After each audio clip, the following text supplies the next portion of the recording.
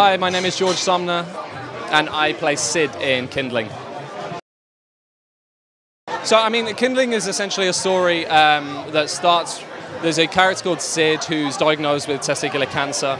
Um, it's not something that's alluded to very often in the film. There's um, the theatrics of that isn't necessarily there. It's very much a story in the same vein as Stand By Me, where there's a journey that these people go on, um, but the, throughout the film, there's very much understanding what that present moment is, not only for Sid, not only for his friends or his family, but as a collective and how they work together to not only create memories, but uh, to be able to move forward. I think they, they all, they're all um, supplying each other with the tools to be able to move forward, and I think that's such an interesting and important part of grief. The dialogue about mental health and the support around those issues has never been more prevalent in our society. But obviously, young men so often seem to be left out and excluded from those conversations, from those spaces. Can you talk a little bit about what this film has to teach us about young men and the importance of supporting one another? Yeah, no, absolutely. I think that was one of the biggest things that drew me to the project um, and Connor's understanding of what that world is and, and, and talking about male mental health um, because that is a big part of this film. I think for me, uh, the characters in this are so unapologetically open with each other. They've created a space, uh, particularly Sid and Diggs and, and Wolfie. Like I think they offer a space with each other. I think some of the other boys have a bit of learning to do, um, as they all do. I think throughout, but yeah, they become very open, and I think that is so so important for young men. I think we we feel. I know I felt um, from a young teen up until up until now. Do you know what I mean? So frequently, when you put yourself out there emotionally and invest energy and time into someone, it can be such a vulnerable place to be in. And I think this is kind of very much solidifying that that's fine. We're able to do that, and someone is going to be there to support you. It's about opening that conversation, starting that conversation. Um, and then, you know, it's that um, a problem shared is a problem halved. I think it is very much that. You've got a lot of great stuff coming up. Um, one project that, of course, fans are very excited about is our Hunger Games prequel.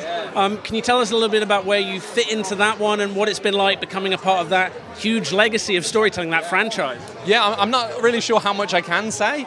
Um, but yeah, I, I, had a great time filming it last year. was out in Germany. I was there for about a month. Um, yeah, this great role that was able to come in, I think, kind of affect the story and the plot quite directly.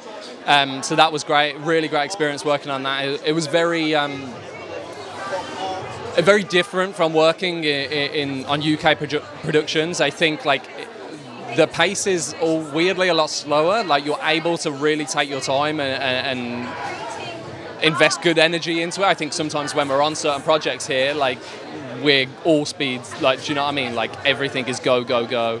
Um, but yeah, that that's great. I'm really looking forward to that coming out. I think it's November. I think it comes out.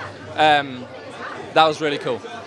Were you a fan of the books and the previous films? Was it something that you were excited um, when you got that you know call sheet there saying, "Oh, no, I'm auditioning for this"? Yeah, no. Um, so I, would only seen the first two. I'd, I've, ne- I'd never read the book of this one that's coming out.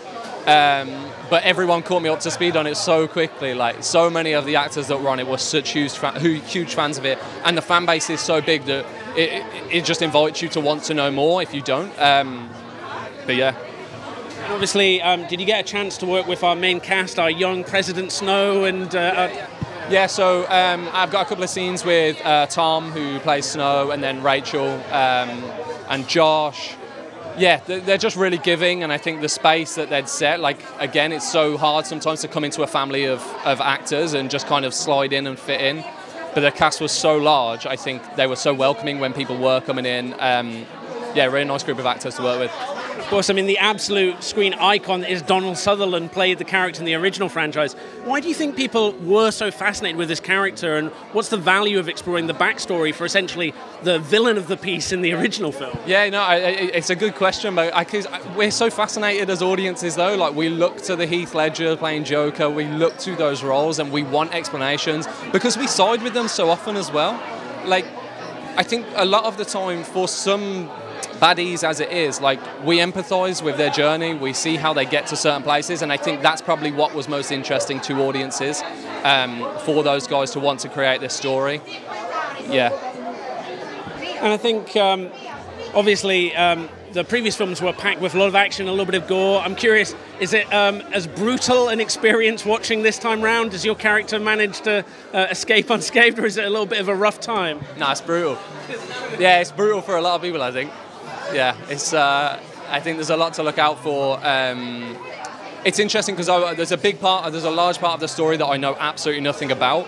Um, but yeah, I, I, I definitely think it's brutal on it doesn't it doesn't hold any punches. Just bringing it back to tonight and this beautiful piece of cinema. My final question: Have you got a message for people about why they really should watch this film, soak up this experience, and, and enjoy the celebration of life that this film is? Yeah, I mean, we all have something to learn from this. I think it is very much a happy film about loss. Um, I think it equips us or starts to equip us uh, with an understanding of how to deal with grief, something we all, if we haven't dealt with it already, we will deal with it at some point in our life. Um, and grief and, and difficult times is definitely something that brings us all together. We see that in this film. So, yeah, as an audience member, I think we can look at it, and I think there's a really important part of it that when we get to the end of the film, when the credits roll, I feel like when I've been doing screenings of this, there is such a sense of people removing themselves from the, the film, the action of the film, and thinking about those that they've lost. Um, I think that was huge for Connor to have that as part of this process as well. Like he wanted people to be reflecting and that, yeah, there's so much happiness to be found in those moments to, to reflect on who our loved ones were and how they inform us as people moving forward. Um, yeah.